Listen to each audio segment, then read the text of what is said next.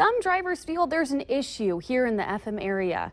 Good evening and thanks for joining us. One person reached out to our whistleblower hotline asking why drivers seem to have an issue merging on the 8th Street I-94 westbound ramp in Moorhead.